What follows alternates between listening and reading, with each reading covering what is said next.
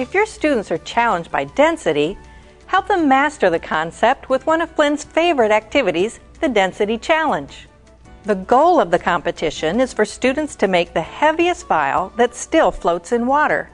You can give as much or as little instruction as you'd like, depending on the experience of your students.